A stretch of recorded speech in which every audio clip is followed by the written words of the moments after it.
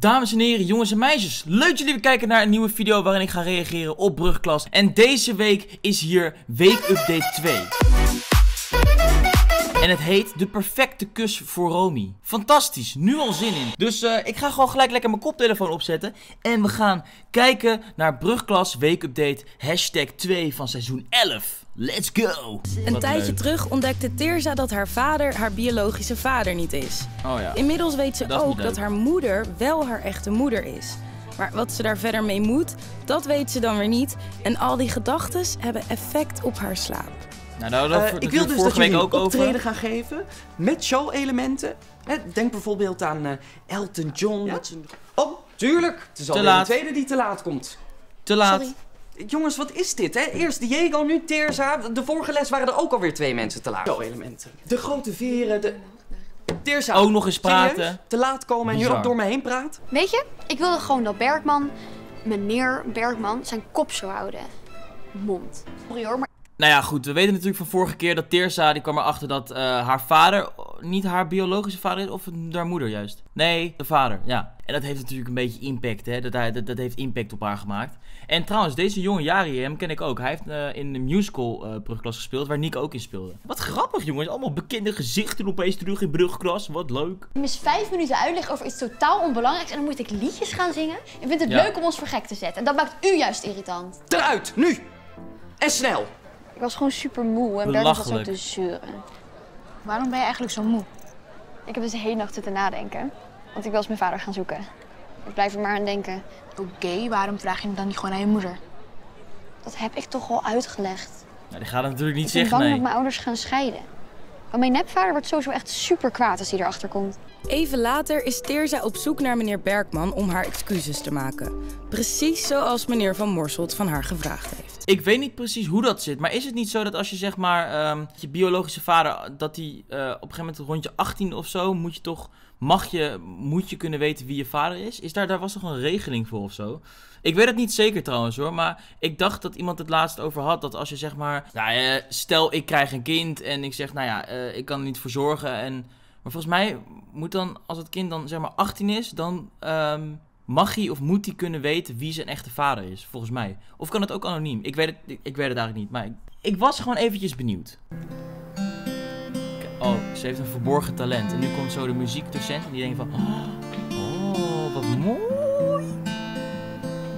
Ja, Terza, ook ik moet jou een straf geven.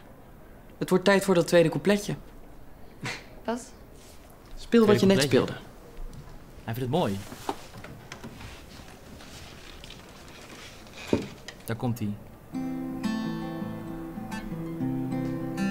Klas van Maaike heeft vandaag... Hij was dus uiteindelijk helemaal niet boos. Hij dacht van, oh, wat, wat, wat speel jij toch een, een mooi nummer zeg op je gitaar. Echt mooi. Ook jij krijgt een straf. Speel een tweede coupletje.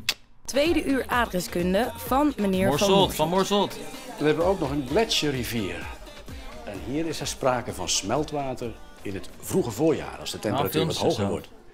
Anna, geef jij maar eens antwoord. Het is wel echt een andere stijl geworden bij Ik had mijn vinger niet eens opgestoken. Nee, maar je krijgt wel de beurt. Ja, en je hebt niet opgelet. Anna, je moet opletten en niet gaan zitten kletsen. Dit is belangrijk voor je proefwerk. Antwoord is je een combinatie. Je had het antwoord wel even gegeven. Dus je wist het toch? Of stak je je vinger op omdat je moest kakken of zo?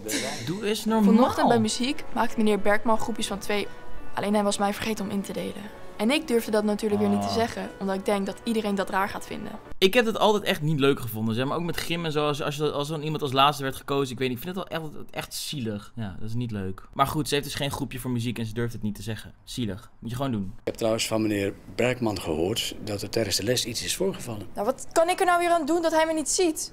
En de vorige les, u zag mij ook niet eens. Ik stak mijn vinger op en u, u keek gewoon over me heen. Alsof ik er niet was. Sorry, dat heb ik echt niet gezien. Ja, precies. Niemand ziet me. Een poosje geleden deed Tirza de heftige ontdekking dat haar vader niet haar vader is.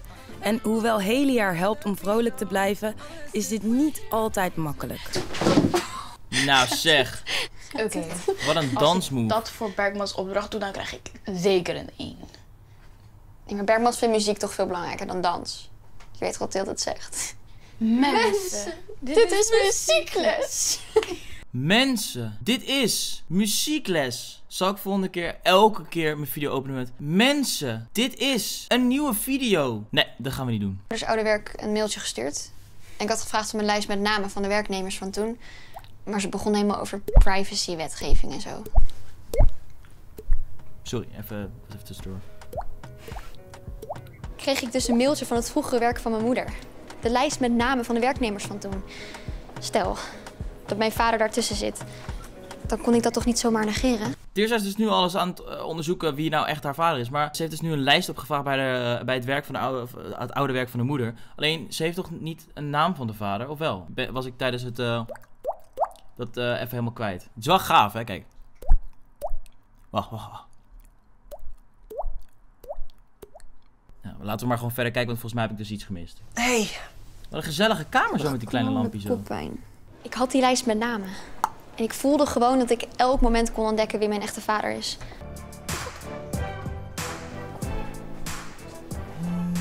Shit, shit, shit, shit. Hi. Hallo, waar ben je? Ben je er al bijna? Ik ben al een half uur op je aan het wachten, hè? Oh, we uh, een show samen. Ben je al om de hoek of zo? Ja, ik, ik voel me niet zo lekker. Ik ben ziek. Liegbeest. Liegbeest. Ziek? Gisteren was je nog prima. Ja. Ja, gewoon ineens knallende koppijn. Nou, dan wens ik je veel beterschap, hè? Doei. Eh, weet je, ik doe het wel gewoon een andere keer. Laat iemand anders maar gewoon aan de beurt. Nee, nee, misschien heeft iemand een oplader voor je. Nee hoor, laat maar. Het hoeft niet. De les ging super slecht. Ik stond helemaal voor schut in mijn eentje. Die kleding was ook super stuf. Mijn telefoon was leeg. En weet je wat? Laat het ook gewoon maar. Ik kan er toch ook niks aan doen dat ik ziek was? Ja, we snappen het nu allemaal wel. Je was ziek. Maar als ik ziek was geweest, dan was ik er wel gewoon voor je gekomen. Vooral als het zoiets belangrijks was. Belangrijk. Het is een schoolopdracht, hè. Weet je wat pas echt belangrijk is? Als je vader je vader niet blijkt te zijn en je moeder daar je hele leven lang over liegt, dat is pas belangrijk. zie je wel dat je niet ziek was? Rustig. Je zal het genoeg achter je laten. Rustig. Ik kan het niet achter me laten, oké? rustig. Ja, het is wel super vervelend voor je hoor. Maar soms gaat het ook weer niet over jou en dan gaat het over mij. Zoals gisteren bijvoorbeeld. Wauw, oké, ja. Het is me niet verteld wat ze nou precies van plan waren. Maar waarschijnlijk gingen ze natuurlijk samen een showtje doen. En zij was, oh, ik ben ziek. Of, uh... nou, ze was natuurlijk te veel bezig met de pa. Maar, uh... ja, wel zielig, hè. Zit ze daar helemaal alleen. Geen vriendin, geen show. Wat moet je dan? Volgens mij komen we nu trouwens bij het uh, stukje dat uh, Romy haar eerste cruise krijgt. Van Romy heeft het vierde uur wiskunde. Al is Romy's oh. aandacht vandaag heel ergens anders. Luca, kun je even mijn x berekenen? Ja, Yo, meneer Abouab. Meneer Abouab. X. Yes. Ja, wat is de X? Ah, gevonden. Hier.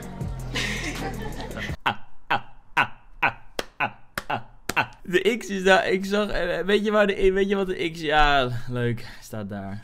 Ja, echt fucking grappig. Niet bepaald grappig. Ik kan weer gaan zitten. Je weet precies wat ik bedoel. Ga maar zitten. Mafkees. Yuka is zo knap. ik, ik vind het wel best wel lang leuk. Sinds hij hier op school zit. Hij komt van het kwak. Wat, heb je mijn berichtje gekregen? Huh? Wacht, wacht even. Wat zegt ze nou? Hij komt van het kwak. Is dit een andere school? Hij komt van het kwak. Het Koning Willem-Alexander College. Daar zat ik op. Als brugklas zijnde, zeg maar. Maar is dit dan nu een andere school of zo? Brugklasfans, uh, alsjeblieft laat even weten in de reacties. Wat is dit? Welke school is dit? Is dit het kwak? Uh, of is het nu, heeft het nu een andere naam? Ik heb uitleg nodig, jongens. Ik, ik ben het even kwijt. Ik ben het even helemaal kwijt. Het is niet grappig om tegen iemand te zeggen dat hij vies ruikt. is dat wat je hebt gehoord? Ik ga stuk. Ja, dat is totaal niet wat ik heb gezegd. Ik denk dat dat verkeerd is aangekomen. Ik zei tegen hem van, you like me. Dus het is zo een keer doorgekomen. Praat hij nou oh. Belgisch of is het... Even terug, teruggekomen wilt. Ah, you, you like me? Ja, nu wel weer. Ja? Oké, mooi. Um, like me. Lijkt het je leuk om dadelijk dan na school uh, af te spreken? Uh, ja, is goed. Oké, okay, zie je straks. Klasgenootje V oh. heeft een onderzoek bedacht waarmee Romy de ideale jongen kan bepalen. Wat vind je nou echt belangrijk? Ja, wat vind je vind nou... je bijvoorbeeld sportief belangrijk? Oh, nee. Je zag er net een scène. Eh, vind jij sportief belangrijk? Werd er een shotje ingedaan dat je zo'n gasten behalve voor een bal ziet struikelen zo? Nou, uh, jij dus niet, vriend. Hij moet eigenlijk liever niet sportief zijn. Want straks moet ik gewoon ieder weekend langs de lijn staan bij een of andere voetbalwedstrijd. Nee, en dat is toch leuk? Dat is toch leuk? hij gaat, gaat iedere pauze voetballen en dan stikt hij hartstikke naar zweet. Hij moet wel echt lekker ruiken. Lekker ruiken, ja. Oh, weet je wat ook irritant is? Als hij super lang niet reageert op je appjes. Als hij echt zeg maar super hard to get probeert te zijn. Mm -hmm. ja. We hadden uiteindelijk echt 30 dingen die de perfecte jongen moest hebben. Nou, geen Rambus Lucas er niet heeft, dan kunnen we het lekker op elke jongen gaan testen. Had jij niet uh, met Sabine? Ik had eerst wat met Sabine, ja. Maar we passen niet zo goed bij elkaar, dus dat is niet echt. Luca had al zoveel goed van de checklist. Hij ruikt lekker, hij is zelfverzekerd en hij praat niet gemeen over zijn exen. Oh my god. Hij heeft al heel veel vriendjes op de checklist. En hij praat niet slecht over zijn exen. Ik ga deze jongen zoenen straks. Hij hoeft er nog maar één vraag. Um, sport jij even? Uh, ja, heel veel. Ik zit op voetbal zelf. Ik hou van sporten. Het liefst train ik elke dag. Sowieso elke vrijdag. En zondag wedstrijd. Dus uh, hopelijk kan ik oh. een keertje supporten. Hij had die laatste fout. Dan houdt het op. Ja, is, dat, is dit... Is dat... Wauw. Oké, hij heeft dus alle vinkjes. Alleen sportief veel. Wees blij met een sportieve jongen. Want anders dan heb je bijvoorbeeld een jongen die totaal niet sportief is... en alleen maar aan het, aan het eten is... En dat wil je toch ook niet als meisje? Romy, ik denk dat je niet zo kritisch moet zijn. Als die gast alles heeft op de checklist. Behalve dat hij dus inderdaad uh, wel veel sport. hey, omarm het. Laat het gaan. Ik ben nu wel benieuwd of ze nog uh, met elkaar gaan zoenen, weet je wel. Zo gaan kussen zo. Oh, ik, nee. ik ben de verjaardag van mijn oma vergeten. Nee. Sorry, ik, ik, uh, ik moet echt gaan. Sorry. Nee. Het is vrijdag en... Nee, Luca. Luca wilde gewoon een kus. Hij wilde gewoon, gewoon, hij wilde gewoon een kus. Wat een zielige jongen. En Romy, wees nou niet zo kritisch. Weet niet, eh, er zijn geen jongens die alles hebben in de wereld. Elke jongen heeft wel weer wat, wat, wat eventjes tegen zit of wat je niet leuk vindt. So be it. Onze brugklassers zitten in de les bij aardrijkskunde, waar meneer Van Morselt de antwoorden van een proefwerk doorneemt. Oh? 3a, de Mistral. Kijk naar de definitie op het bord. De Mistral is een krachtige hey, noordenwind die in de winter en in de lente, meestal, hè, voorkomt. Maar meneer, ja? ja, Dirza en ik hebben ook bijna hetzelfde antwoord. Alleen die van haar is goed gerekend en die van mij niet. Ik was oh. er niet blij mee, nee, toen Hedy dat zei. Dat kon dat Hedy een extra punt zou krijgen. Oh. Maar het kon natuurlijk ook dat Vermors op mijn antwoord alsnog fout zou rekenen. Ja, best wel toevallig, hè? Oh, uh, wat suggereer jij daarmee? Ja, ik denk toch dat het voor iedereen wel duidelijk is. Je bent gewoon racistisch. pardon? Zo. je kunt niet zomaar iemand voor een racist uitmaken. Wat denken jullie wel? Ja, maar het is toch zo? Als je vier mensen hebt, twee zijn er wit en twee zijn er niet wit. En ze geven voor alle vier hetzelfde antwoord, maar bij degene die niet wit zijn, is het fout gerekend. Nou, nou wordt hij helemaal mooi, zeg. Ja, nee, het is helemaal niet mooi. Noori, ik zou mijn mond maar houden voordat je zometeen nog meer zegt waar je zometeen spijt van krijgt, ja? Ik wens niet voor een racist uitgemaakt te worden. Dus jullie mogen je spullen pakken en vertrekken. Nu met ja, meneer, ik ben vorige week al bij de Jong geweest. Ik kan oh, niet maar je hoeft niet naar mevrouw de Jong. Je mag meteen door naar mevrouw de Wilde. Wegwezen, hoppa. Zo, dat is, uh, dat is niet niks. Gewoon iemand gelijk voor racist uitmaken natuurlijk, omdat hij een fout puntje heeft. Dat kan natuurlijk niet. Dat is gek. Nouri, niet doen. is gek. Kunnen wij verder? Oké, er is niemand meer. Kom. Wat gaan ze doen? Wacht, wat gaan ze doen? Snel, snel, stil. Wat doen ze nou? Ze sluiten hem op. Hé, hey, dat is niet leuk. Ja, hè? Weg, weg. Kijk op, dat is, dat is flauw, zeg. Uh, ja, jongens en meisjes. Het is voor mij een hele bijzondere dag. Oh. Uh, want ik ga jullie namelijk vertellen dat ik de school ga verlaten.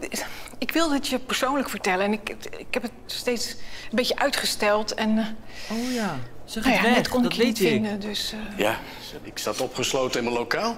Meen je niet? Ik wilde je al een tijdje iets zeggen. Hè? Ik... Of vragen. Of eerst zeggen en dan vragen. Wat gaat er gebeuren? Ik hou nog steeds van je. En ik wil je uitgerekend vandaag opnieuw ten huwelijk vragen. Hé, wacht even. Wacht even. Ik wist trouwens dat mevrouw de Wilde wegging. Want toen ik opnames had voor zeg maar de, uh, de, de backstage-serie, zeg maar daar. Toen wist ik dat uh, Carla, de, de, uh, de, zeg maar de actrice die eh, mevrouw de Wilde speelt, dat ze wegging. Van Morselt en de Wilde waren toch al getrouwd? Of ben ik nou gek? Of is dat dan tussendoor weer uitgegaan? Ik heb denk ik al die. Ik, weet je, ik, ik moet ook niet zo raar opkijken dat ik dingen niet weet. Want ik heb natuurlijk die andere seizoenen gewoon niet gekeken. Ja, ik vind het wel schattig. Meneer Van Morselt, ik vind het schattig. Echt. Ik hoop dat ze ja zegt en dat, ze, dat jullie nog lang en gelukkig leven. Maar we gaan het zien. Sterker nog, ik, ik, ik ga dat alsnog doen. Oh. oh my god. Ik moet de hele dag aan je denken. En toen je net vertelde dat je weg zou gaan, toen dacht ik... Uh, niet doen. Ze gaat nee Of in ieder geval niet zonder mij. Hè? Want ik ben bereid om je de hele wereld over te volgen. Ze gaat dus, uh, lieve Sanne, wil jij opnieuw met me trouwen? Zeg je het? Zeg je het? Zeg je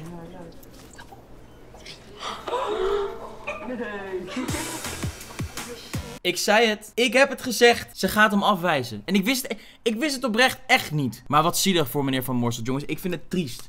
Ik vind het zielig. Hij verdient beter. Weet je wat? Laat mevrouw de Wilde maar gewoon lekker gaan. Er zijn genoeg vissen in de zee, hè? Maar goed, dit was alweer de video waarin ik ging reageren op Ruglas. Ik vond weer een, uh, een uh, leuke aflevering. Oh, even gekke dingetjes met dingetjes die ik niet meer wist en zo. Maar goed, we gaan gewoon lekker doorkijken. En op een gegeven moment zit ik er natuurlijk weer helemaal dik in. Dus dat komt helemaal goed. Maar vonden jullie het nou een leuke video? Laat dan een blauw duimpje achter. Vergeet natuurlijk niet te abonneren. En dan spreek ik jullie later.